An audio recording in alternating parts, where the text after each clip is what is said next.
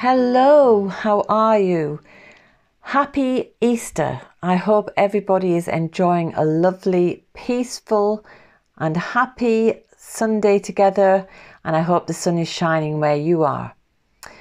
We are showing you a film that we made last September, and we went up into the mountains to round up some sheep with my sister in law and my brother. She's up there now actually because it's um, lambing season. So I thought this would be a nice time to show the film so that she can get to see it while she's up there in the mountains all by herself.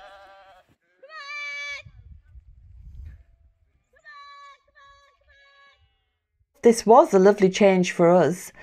Even though we're busy rounding up the sheep, we're actually just strolling around and enjoying the magnificent views and the lovely fresh air and watching the two dogs because the young one of the dogs is just a pup and he's here to learn from the other one. Now my sister-in-law was born up here and this is her land and this is where she rears her sheep.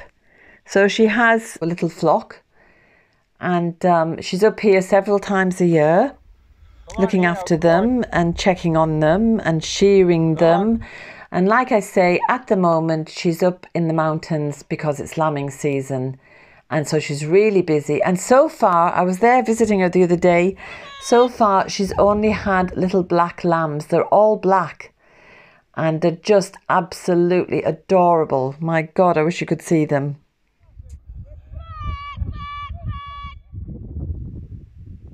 Even though the terrain is rocky and steep, it's still a lovely, relaxing day because we're not actually really having to think about anything. We're just watching the antics of the dogs chatting away and strolling, and it's very, very peaceful.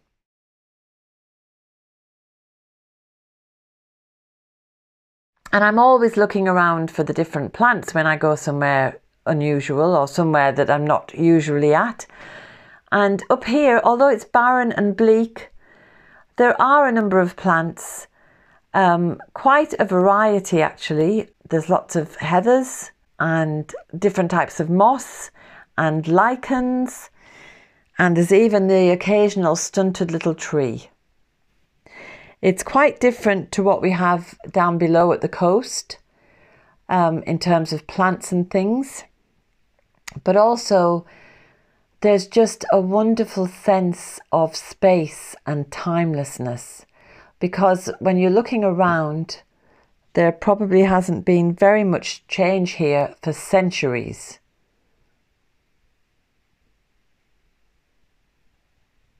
feel much closer to the sky as well. And we can really, really see. I mean, we can see these mountains from our kitchen window, and you've probably seen them in other films from the back garden. But to be up in the mountains is something else. You can really appreciate the soft contours of Mother Earth, the rolling, the rolling hills that are the foothills of the mountains, and just the height.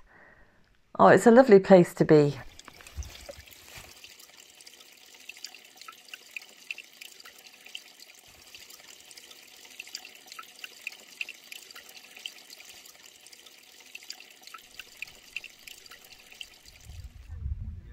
And when we were up here in September, um, we did find some bog myrtle.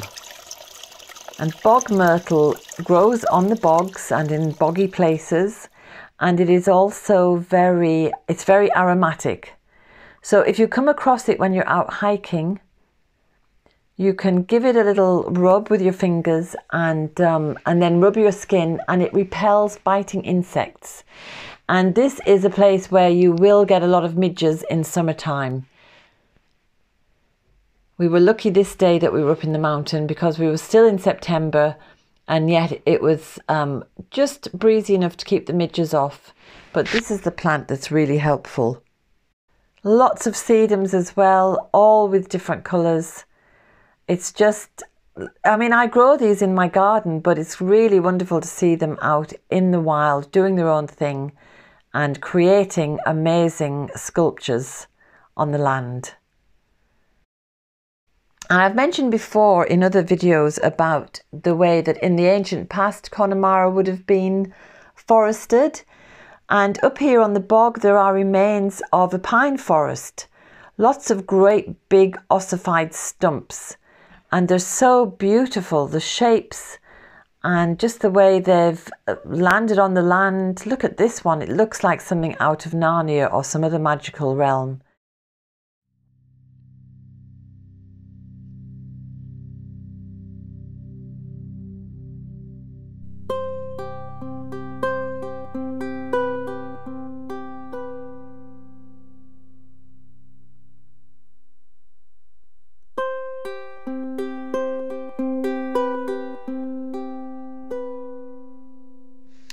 Always love to try and learn something new. So, up here in the mountains, I'm pretending that I'm a shepherdess as well.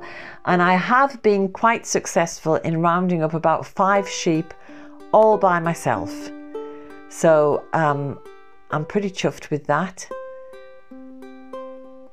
Obviously, I'm not the expert that Anne is.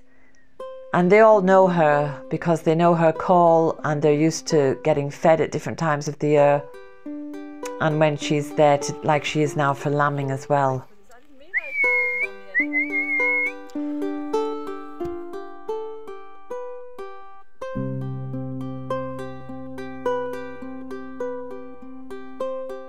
Being up in the mountains, it's a way of realizing how unimportant all our day to day worries are. They're just not important. The vastness of the mountains and the sky makes me realize we're just little beings here for a very short time.